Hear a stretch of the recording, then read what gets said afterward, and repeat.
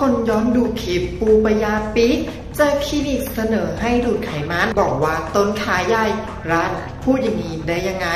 ปูปยาปิดเลยคลินิกเสริมความงามเสนอดูดไขมัน บอกดูคลิปเล่นสงการแล้วเห็นต้นขาใหญ่ร้านพูดอย่างนี้ได้ยังไง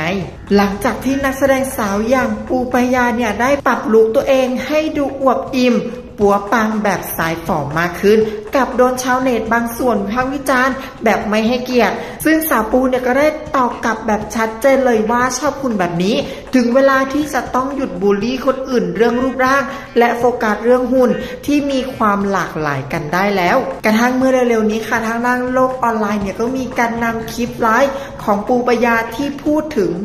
เรื่องรูปร่างของตัวเองมาลง TikTok อีกรอบ หลังจากที่สาวปูเนี่ยได้ออกมาไลฟ์อยู่แล้วมีแอดมินคลินิกเสริมความงาม เข้ามาเสนอจะดูดไขมันให้ทำเอาสาวปูถึงกับปิดแตกที่โดนวิพากษ์วิจารณ์ถึงเรื่องรูปร่างอีกครั้งหนึ่ง โดยปูปยาเนี่ยพยายามจะสงบสติอารมณ์ก่อนจะพูดกลางไลฟ์ว่า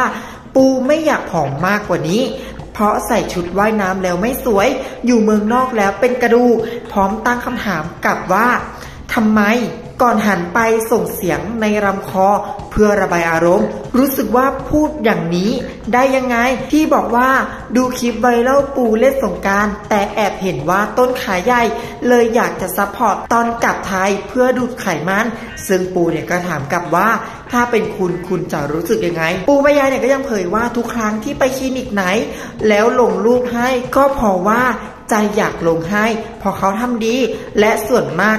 99%เสียเงิน นอกจากเพื่อนเป็นหมอแล้วทำฟรีให้ ซึ่งเป็นการแค่นวดหน้า อะ เดี๋ยวเราไปชมคลิปกันหน่อยดีกว่าค่ะ ไม่อยากผอมกว่านี้นึกออกปะผอมกว่านี้แล้วใส่ชุดว่ายน้ำไม่สวย ผอมกว่านี้ อยู่เมืองนอกแล้วเป็นกระดูกอะแบบทำไมอะแบบ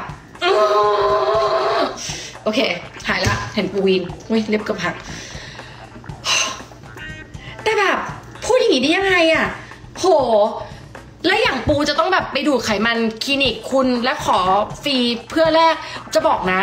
ทุกครั้งที่ปูไปคลินิกไหนแล้วปูลงรูปไปเขาอะก็เพราะว่าใจอยากลงให้เพราะเขาทำดี แล้วส่วนมากคือ 99%เสียเงิน นอกจากเพื่อนเป็นหมอแล้วเขาทำฟรีให้ซึ่งเป็นการแค่นวดหน้า แต่เวลาลงให้คนเนี่ยคือเพื่อให้เขามีคนเข้าไปเยอะขึ้น ไม่ใช่เพราะเขาทำฟรีให้กูไม่ใช่ดาราแบบนั้น กูจ่ายเองค่ะ โก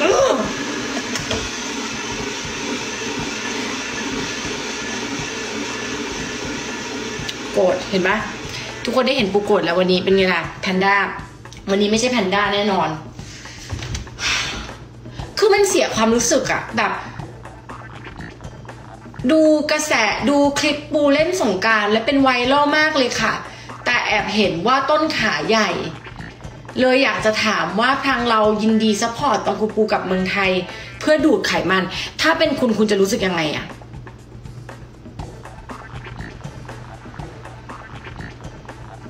อืม แค่นี้แหละ หายวีแล้ว